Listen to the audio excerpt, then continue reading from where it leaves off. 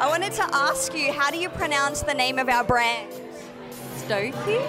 Ooh, I would pronounce it Stocky. Oh, Stocky. Stoke? Stock? Stokey? Stocky? Stoke? Stoke. I think it's okay. Stokey. Stocker. I say Stoke. I would say stocky, stokey.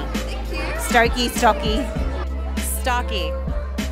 Stoke. Stokey? Oh no! Is it Stocker? So the way that you pronounce the name is Stocker.